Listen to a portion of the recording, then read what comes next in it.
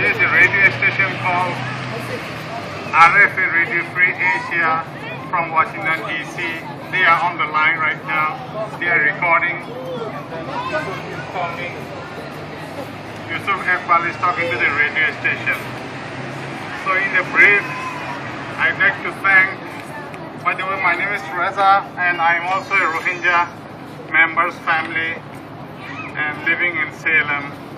I'd like to thank all of you, especially Coalition of Faith from Portland. They're coming here to, to support us, to help us.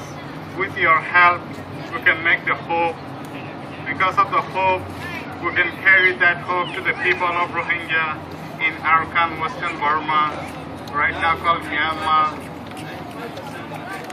where they are having prosecuted for a long time. Right now, under the banner of democracy, the government of Myanmar doing more prosecution, killing, ethnic cleansing, rape, rape, all kind of human violation is underway.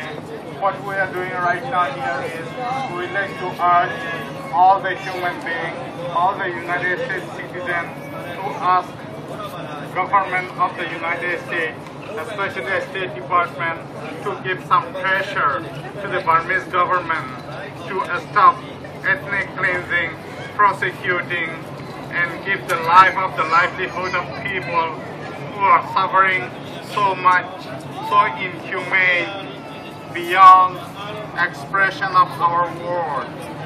So thank you all for supporting, for coming. We are still underway of the interviewing from the live station of RFA Radio Free.